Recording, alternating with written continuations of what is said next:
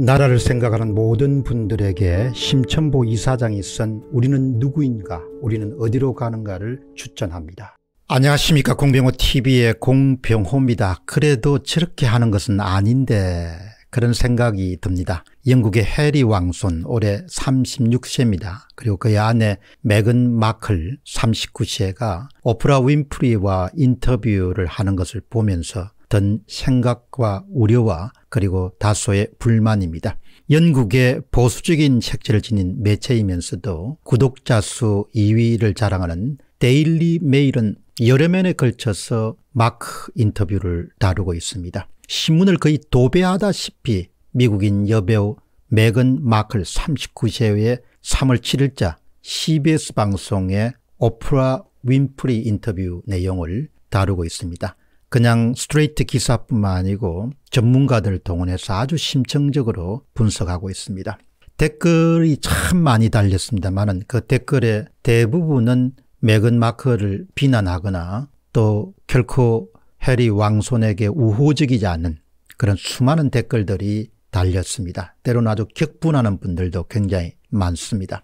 가족들의 화목이나 왕실의 안정 등을 또 염두에 두면은 이뿐만 아니고 영국 사회 통합이라는 그런 문제를 두면은 마치 다리를 불태워 버리는 것 같은 그런 행동은 지나치고 때로는 유치하고 때로는 경솔한 그런 결정이자 언행이 아니겠느냐 그런 생각을 하게 됩니다. 조금 더 사려 깊고 배려하는 언행을 보여야 되고 보여야 될 충분한 그런 의무를 지고 있는 것이 바로 해리 왕손 부부다라는 생각을 하게 됩니다. 물론 AP통신은 또 다른 소식을 전합니다. CBS를 통해 공개된 인터뷰는 미국에서만 1700만 명이 생방송으로 시청했고 또 방송 직후에 소셜미디어에는 해리 왕손 부부를 응원하는 글과 영국 왕실을 비판하는 글들이 쏟아져 나왔다. 이렇게 또 제가 갖고 있는 시각과는 좀 반대되는 그런 의견을 표출하는 그런 외신도 있습니다. 그러나 데일리 메일을 들어가서 이렇게 보면은 너무나 많은 분들이 해리 왕손 부부의 언행에 대해서 실망감을 감추지 못하고 있다는 점을 확인할 수 있습니다.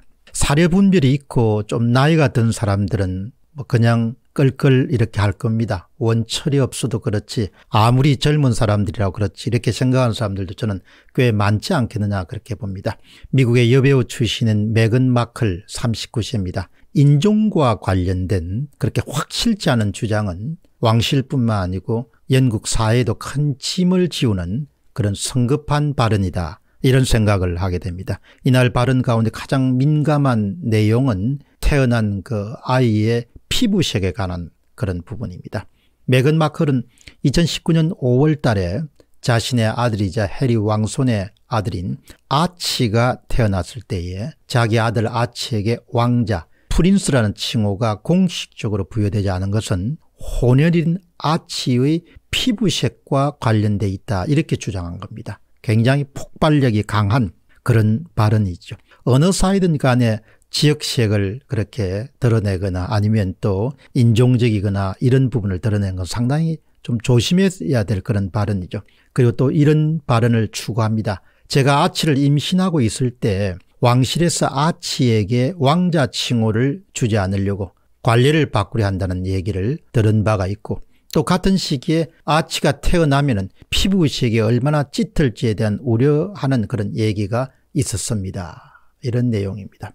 결국은 찰스 왕세자의 두 아들 가운데서 장자인 윌리엄 왕자의 아들들은 왕자라는 칭호를 받았고 둘째의 해리 왕손의 그런 아들은 피부색 때문에 왕자 칭호를 못 받았다. 이렇게 이제 해석할 수가 있는 것이죠. 이거는 대단히 큰 인종적인 그런 이슈로 어, 발화될 수 있는 그런 폭발력이 강한 그런 발언입니다. 너무나 민감한 이슈이기 때문에 우선적으로 메건 마클이 옳고 그런 문제, 사실 여부, 진위 문제를 떠나서 이런 발언을 방송에서 꺼내는 것 자체가 시청하는 사람들에게 상당히 당혹스러운 또 걱정을 끼치는 그런 발언이라는 점을 우선 생각해 보게 됩니다.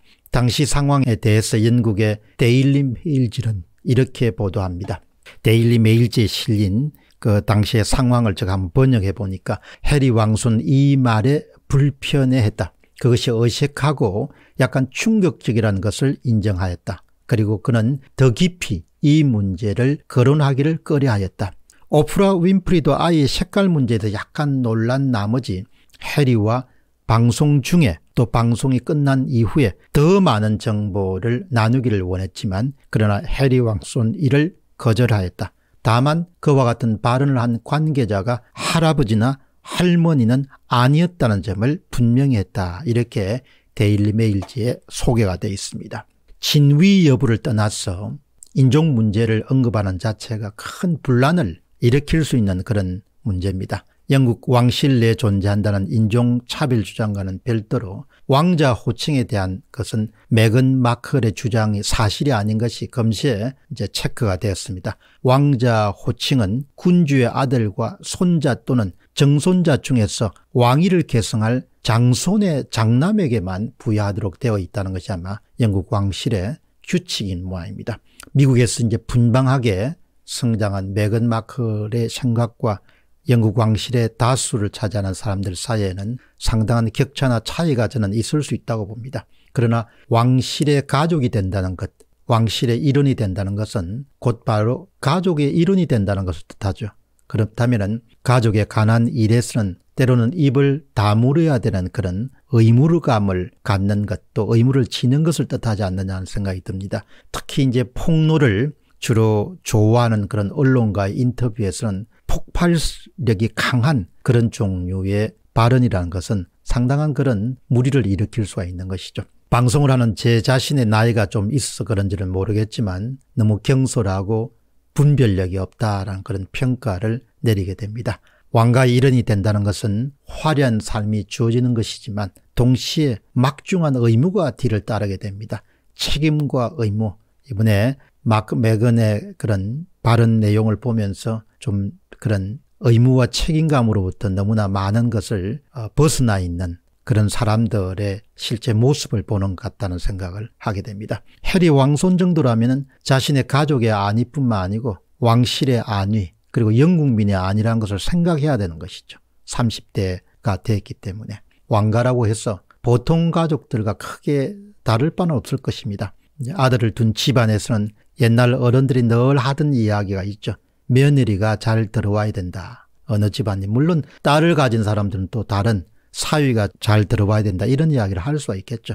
방송은 뭐 여러분도 아시다시피 대부분 그런 상업용 방송은 폭로를 주 타겟으로 하지 않습니까? 시청률에 혈안이 돼 있기 때문에 그러면 이렇게 인터뷰를 가진 것 자체가 분명히 문제가 될 수가 있는 것이죠. 방송을 마무리하면서 꼭 이렇게 해야 되는가 그런 질문을 던지지 않을 수가 없습니다. 특히 해리 왕손의 지금 할아버지가 입원해 있는 그런 상태죠. 가족은 가족이죠. 부부도 살다가 그냥 헤어지면 남남처럼 그렇게 나가지 않습니까? 그러나 가족은 가족인 거죠. 가족은 가족이기 때문에 어떻든 이번 해리 왕손 부부의 오프라 윈프리 인터뷰를 보면서도 꼭 그 사건뿐만 아니고 여러 가지 문제를 동시에 생각해 볼 수 있었습니다만은 이 방송을 들으면서 여러분들은 어떤 생각을 가지시는지 궁금합니다. 댓글로 남겨주시면은 그 부분 한번 반영해서 여러분의 생각을 소개하는 시간을 갖도록 그렇게 하겠습니다. 공병호 TV의 공병호였습니다. 감사합니다.